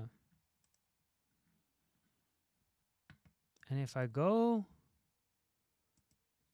to Wednesday is so Monday, Tuesday, Wednesday from 10 to 12. So this looks pretty accurate. Although where is 11:30? Ah, looks like we have an issue in our database manager. We're not adding the final 30 minutes. So to fix that, we just need to change this to an equal. And let's see what happens. Boom. And I believe now we create another bug. Which and this would this is might be a bug or might not be a bug depending on so if in our in our table our end time for Friday is two o'clock. So we shouldn't have an appointment here. So if calendar and we can just add a conditional here. So we can check that the current date dot so we can add a calendar component component from if the hour from our current date does not equal hour dot end. Let's see. Boom, this stops at 3:30 on a Monday and on Monday what do we have? Yep, we end at 4. All right, so now we're good to go. We set up our dates. Let's go to Monday. And we have 8 a.m. is right. Let's see. Yep, 8 a.m. looks good. What happens if we hit next? Nothing happens. Oh, no. This does work. And oh, look. This is correct. Let's go back. Let's go to Wednesday. Let's see if this shows up correctly. It does. Dope. Now we need to see what we're going to do when we schedule our event. This looks really good, although nothing is being sent to the back end. And this, we need some form validation here because if I have this empty, then, then it's just empty and it still goes through. So that shouldn't happen. So let's go. We got to stop the simulator. Let's close these. And that's in our booking view. And in here, I want to refactor this into a button. So I'm going to change this into a button. You'll see why in a second. And in this button, we can add some conditional. So if names is empty and email is empty. And I put the exclamation point to make sure it's not empty. Because if you only want to do this if it's not empty, and we don't care about the notes, it can be empty or not. So if it's not empty, we want to actually create a task and that task is going to be posting the appointment to our database so that our database can know and it can be scheduled basically. So we actually have to go back to our database manager. We're gonna have to create a function. So we can do that down here. We'll call this function post appointment, or we can call it book appointment as well. Book appointment, appointment. And we have a name of type string, an email of type string, and notes of type string. This will be async throw since this is making a network request. And we are going to be making the post to this table. So I'm going to copy this beginning. What we need to do is insert values, and the value is going to be an appointment.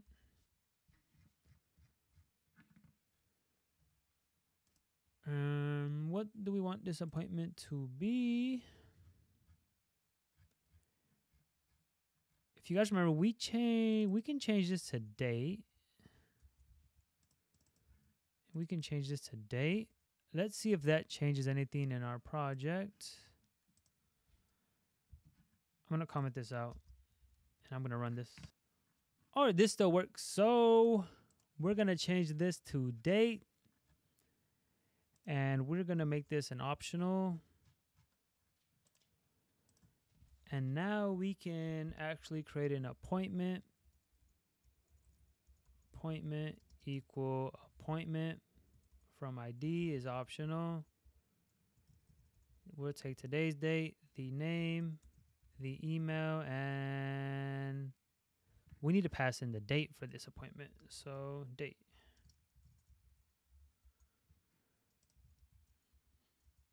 Hit command B and we can post this appointment.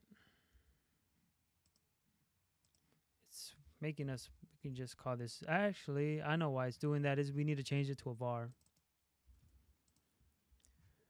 There we go. So this is going to be just a response. And we can throw away the response to be honest. And this is not doing asynchronous because we have to call execute. Now it's going to be an asynchronous call, and we would call that in here, and we need access to the manager. So we need an environment object, var manager equal to database manager, hit command B. Now we'll call, actually we need to call try await manager dot book appointment for name, email, notes, and its current date. Okay. List looks good. What else are we missing? Are we missing anything? I want to do something. I want to make this private. So we don't have access to it from outside of this we can make this private as well and actually we can we can make all these private. Since we don't want anybody to access this this shouldn't give us any errors. Boom! Now we can run this and if you guys notice something we may be missing is we need to call pass this environment object since that we created. And if you forget, it happens, and Xcode will tell you right away that you forgot it because your app will crash. let's go to Wednesday. It's a it's a light day, and let's let's try to book an appointment at eleven thirty. And actually, let's go to my database. So this is the database. We're at Wednesday, so it's from 10 to 12, and that's the correct, yep, correct things and our appointments. We have no appointments. Let's hit next. And if I try to schedule the event, nothing happens. Because we're not meeting the requirements. Basically, this is not empty. So let's see. Who wants to schedule an appointment with me? Let's do Mazin. Shout out to Mazin. He was on the recent episode of the Was Dead podcast. Mazin at Gmail. I need help. Hello. The days are looking good. We picked 11:30 and it's on a Wednesday. Yep. And if we hit schedule event, what happens? Let's look here. Hey, it posted. And now we need to update our UI. So when we post it, when we're posting from the booking, so when this is posted, we want to reset the name and we want to reset the email. Also the notes. So you want to reset this and we want to present the navigation. And now we're actually going to take a break from this and work on the navigation because this isn't the best way to handle navigation. And navigation is a little tricky, especially coming from UI kit where we had full control of where we wanted to go, right? Like I could go anywhere I wanted to. But in Swift UI, we have navigation stack. Navigation stack is actually pretty. It's pretty cool. It just takes some time to get used to, and I'm I myself I'm still getting used to it. But the more I play with it, the more I learn. So for our navigation, we need to create a new file, and this is going to be our router, and I like to call it app router because it's what's going to handle all of our routing in our app, and it's it's what's going to allow us to pop to the root view, which is a dope thing that I learned how to do recently, and I kind of love it. Because before I was so confused on how the heck I could go from deep into a navigation stack back to the root. All right, so how does this work? So we need to create a router which is which conforms to type hashable. And in this router, we basically need to create all the cases of the view that we want. So we need a view for the day. And we actually want to initialize that view with a variable of type day. So you want to you want to explicitly say that in your enum. And we also need to do the same for booking. And the last one is our confirmation because we are navigating with that. All right, hit Command B and you shouldn't get any errors. But now that we solidified all the destinations that we're going to, we go back to our home view and here we call navigation destination for we call app router dot self we call router and we basically just switch over the router. Sometimes this will autofill. Let's see nope. And if it doesn't you just have to call the cases. So the first case is of day, and we can just say let date. These, and you can actually copy and paste this since the only thing that's going to change is booking and confirmation. So for each of these cases, this is where you actually write the view that you want to show. So we want to show the day view and the current date that we have to pass, and there's the date that's going to be given to us. And you'll see in a second how we're passing that date actually. And we're just going to do the same for booking. We don't have the manager here since we're passing it as an environment object. And this last one is a confirmation view. And this one doesn't need an environment object. And now the next thing we need to bring in is we actually need to bring in a path for our navigation stack. And this is how Swift UI lets us navigate. So another state var. Now we actually can just call this path. And this equals navigation path. And we can make these private. Make all of these private. Private var, all right.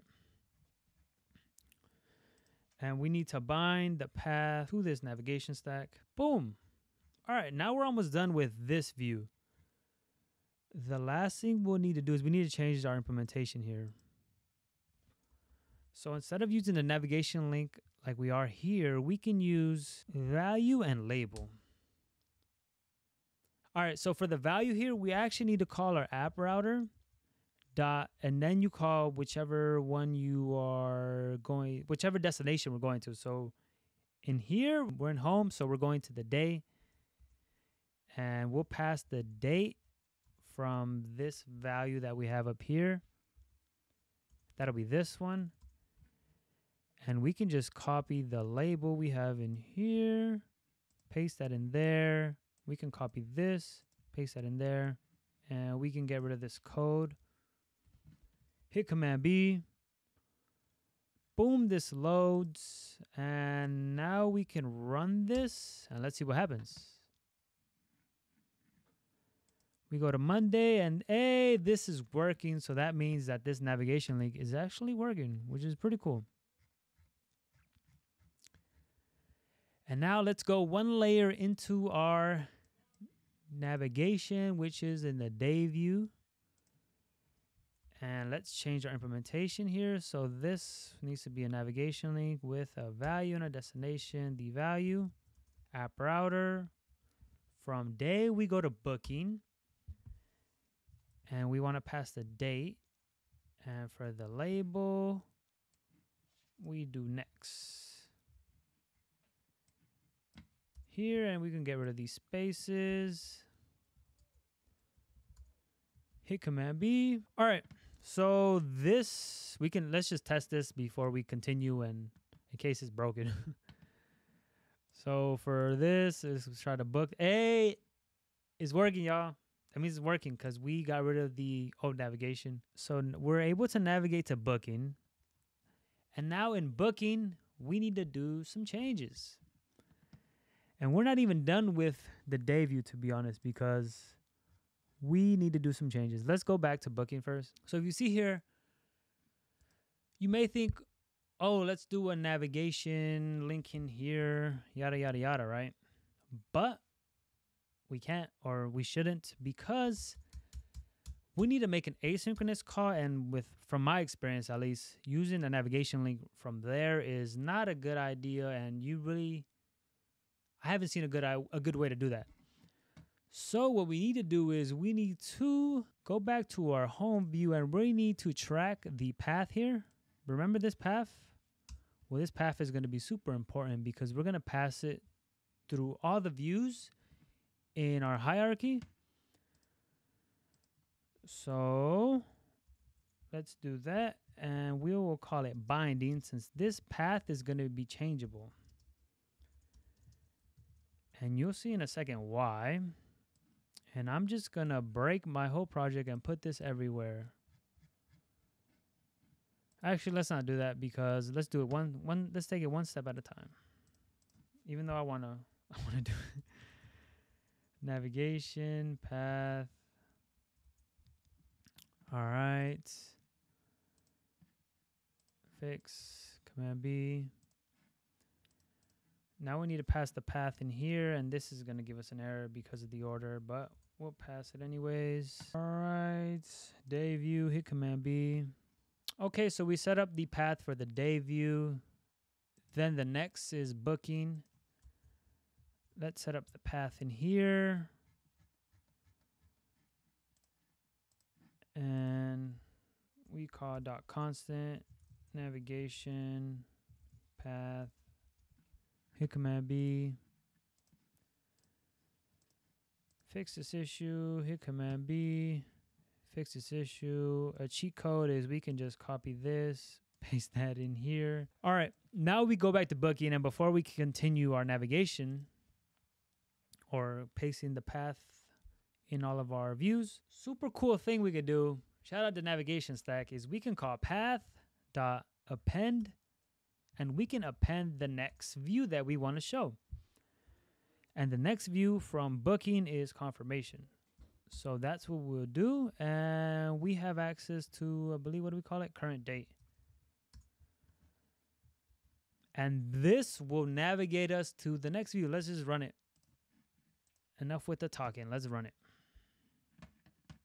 So let's load up Wednesday and oh look, 11:30 is booked because that's we booked it. Let's book 10 o'clock. And before we navigate, we need to enter this. So let's do I don't know. Actually, we can just leave this. And this is for Wednesday at 10. Let's schedule it. Hey, we navigated. That's dope. And I'm pretty sure this was posted to our database. We can actually pull it up. Where is our where's Google Chrome? Oh, there we go. There we go. Cool, cool, cool. Now let's see what are what's next. So now we navigate from here to confirmation. So what's up in confirmation? We don't have any navigation in here actually. But we're still to bring it in because this is where we actually are to pop to the root view controller. And this is where the power of the navigation path it will show itself because let's fix these issues. This is a constant navigation path. Command B.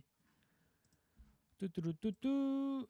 Wait, can I go? Let me see something. Go to confirmation view. Ah, the order here is not consistent with the previous one. So let's do. Let's keep it consistent. So we'll have to fix this, and we'll need to go to our home view. This is the pretty cool part about navigation path is like you'll set it in the root or the home view, whichever wherever the navigation is being created. And underneath that navigation, you can or in that in this home, we can declare everywhere we're gonna go. And this will be like the source of truth that we can always refer to all the places we can go within this hierarchy. Now back here, all we need to do is just call path equal to navigation path by itself. And we can, and this line here will reset the navigation path and send us to the beginning. Enough talking, let's test this. So let's try to book Wednesday. I'm booking every day, every appointment on Wednesday. So now who are we? Let's be Rocky, my dog. Rocky at Gmail. I want some treats. Let's schedule this event. Boom, it gets scheduled. All right, now we hit done. And when we hit done, this should send us back home. Let's see what happens. Oh, so bam, this is working. And we have basically completed our Calendly clone. There's not much I want to add. We've completed our Calendly clone and we're able to fetch all the appointments available and we can actually change this to show different weeks in advance by going to our database manager and change this to like two.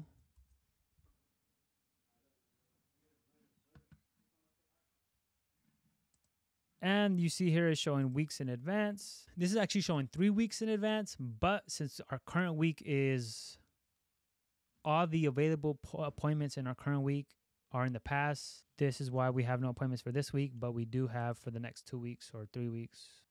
And I hope you guys enjoyed this video and tutorial. It's been a lot of fun. I got to play around with Supabase, navigation stack, learned quite a bit. Hope you did as well. One challenge you could do is incorporate like a sign in or an authentication service where people can actually sign in and log into this before they book an appointment. You can also challenge yourself on figuring out how you can automatically send an email or confirmation email to the email address they put here.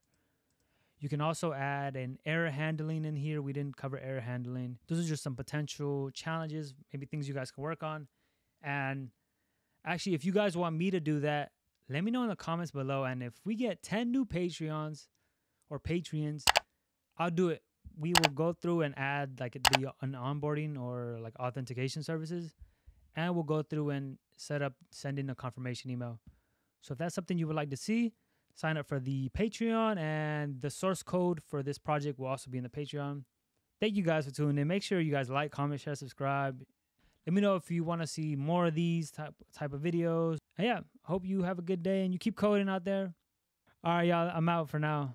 Peace. I'm riding between it all in this perfect play. I'm a piece of the buzz, woman fit where you need.